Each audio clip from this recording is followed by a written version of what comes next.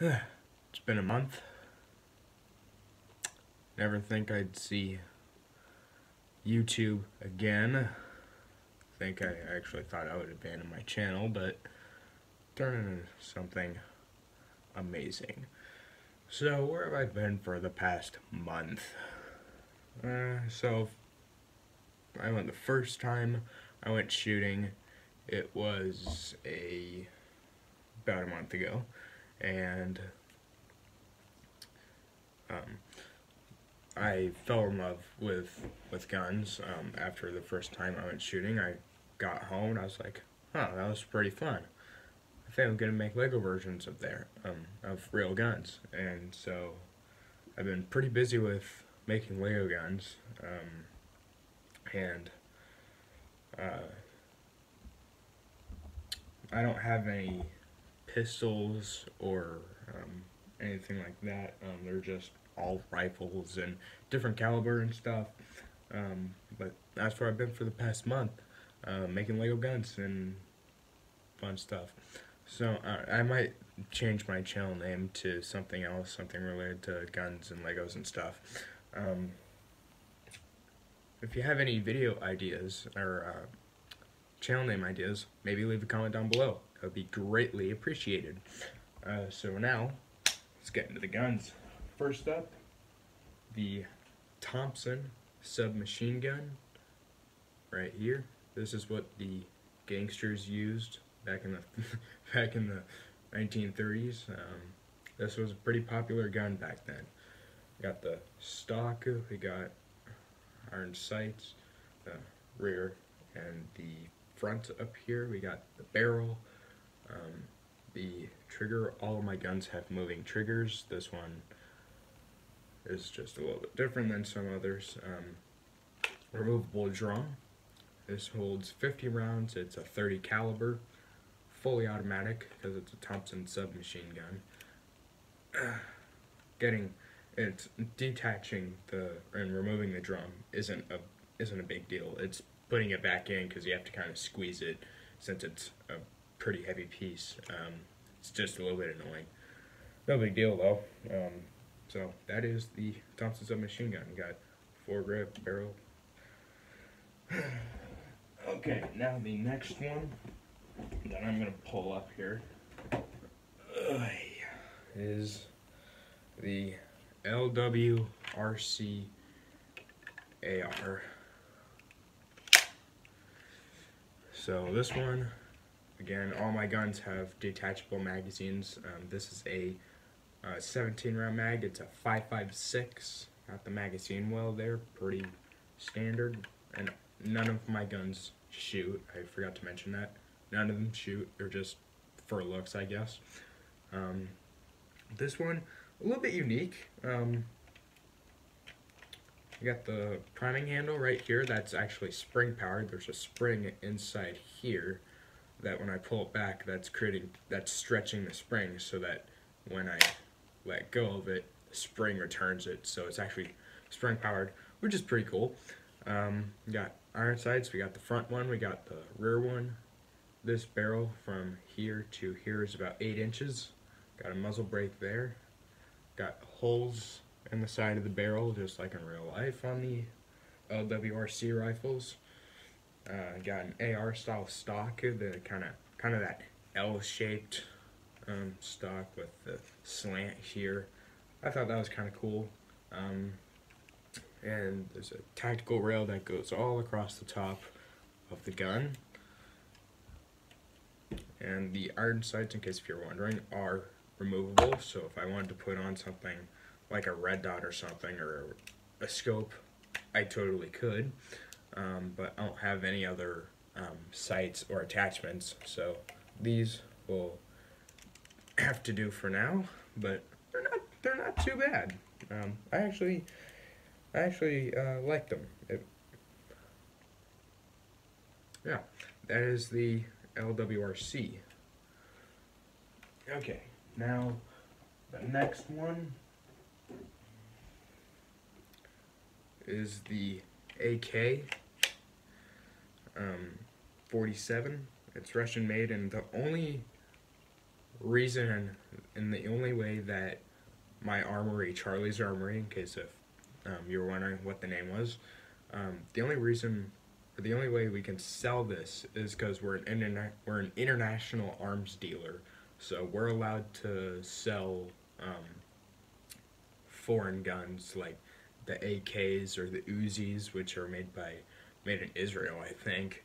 Um, and what we're known for here at Charlie's Armory is automatic weapons, and we've been making some pretty good money off of those. So we're we're definitely we've only been around for um, a month, so um, we're actually the rate we're going at. We're gonna we're gonna have no problems financially. But onto this AK. So you got the priming handle right here. Again, spring returned. You got the that AK front sight.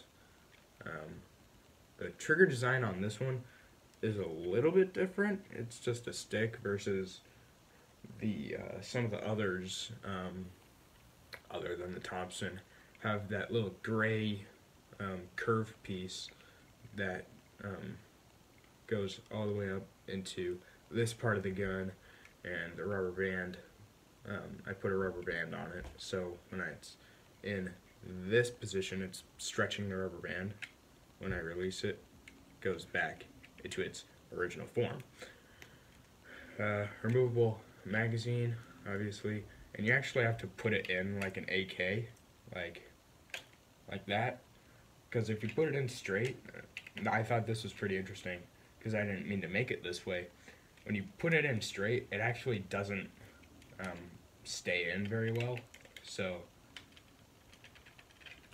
yeah, that's that's what happens when you put it in straight. But this is a 7.62. Um, uh, I, this is a 30 round mag.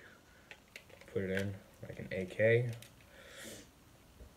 Uh, tactical rail all the way across the top of the gun. We got that AK styled stock, that slanted, that slanted look to it. Um, got the barrel. Um, yeah, that is the AK.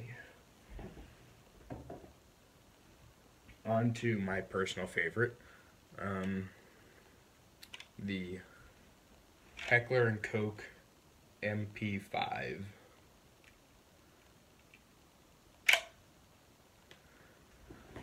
So this gun is by far my favorite in terms of design and looks and stuff. It, it, it it's so awesome in real life too. It's I've I've been into Black Ops 2, Call of Duty Black Ops 2 recently, and it's my MP5 is my favorite gun in the game. It's it's it's just so good. It's a hard gun to put down. Um, but we got the selector switch, select fire. So in here, it's safety right there.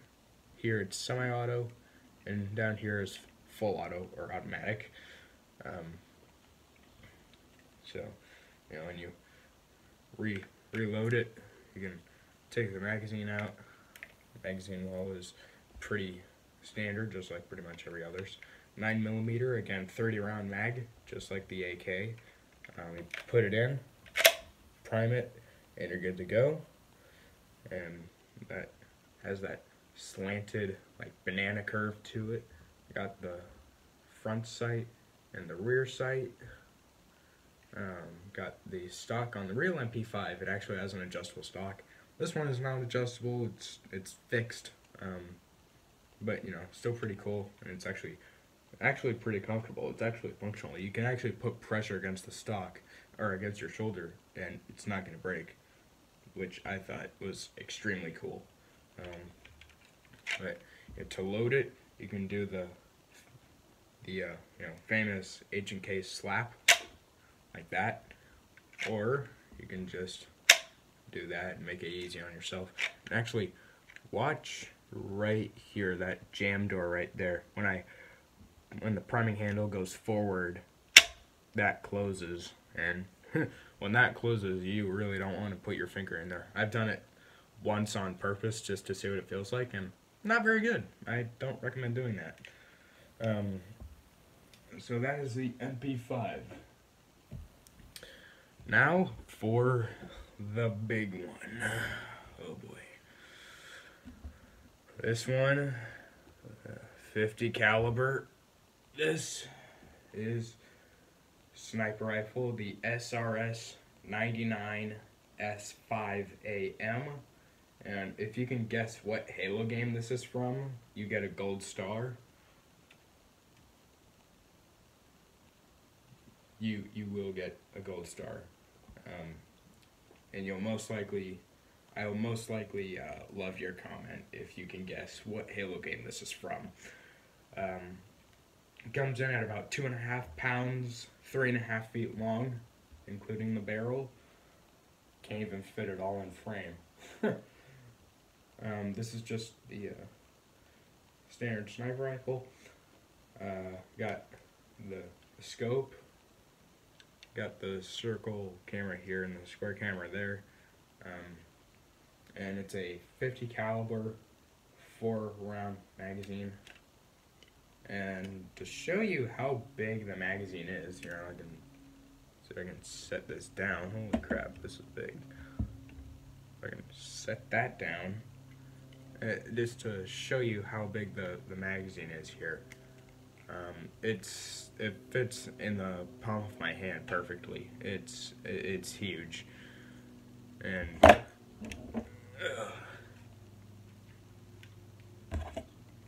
let's put it in magazine well, standard as usual um, all the features of it, moving trigger, like all of them, uh, scope magnifies times one, which basically means it doesn't magnify at all. Um, got the foot and a half long barrel with the uh, muzzle brake at the end of it. I got bipod right here. Uh, this in the game, it's not used, but it's actually a carry handle and it's really not that realistic. I wish they didn't do that in the Halos. Like Halo 2 Anniversary and Halo Reach don't have carry handles on them, um, which makes them more realistic, and that's why they're my two favorite Halos of all time. Um, or at least one of the reasons why. Um, but yeah, you can priming handle right here. Again, spring return. Um, so, you know, after you shoot it and the magazine is empty, you put a new one in, prime it, and then you're you're good to go. Or if you don't use up all the rounds uh, and there's still one in the chamber, you can take that out, put a new one in, and it'll just keep feeding um, the uh, rounds because there's already one in the chamber and it's gonna do the same thing as if it was the same magazine. So you don't need to prime it again if you don't use the entire magazine. Um, I got the I got it has a thumbhole stock just like the real game. End of the gun right there.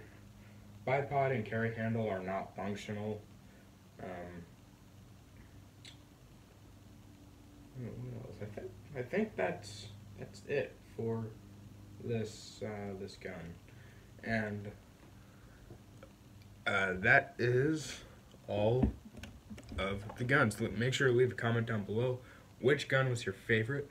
My favorite is the MP5. That that will always have a special place in my heart. Um, yeah, uh, let me know which one was your favorite, and uh, like I said, you will get a love from uh, from me. Uh, you will get a, heart from me if you can guess what Halo game the sniper rifle is from. Um, and that's it. I have five guns working on um, working on more. Um, I think the next one I'll make is uh, the Uzi made by the made by uh, Israel or made in Israel. Um, but I'll wrap it up for this video. Thanks for watching and uh, stay cool and stay safe.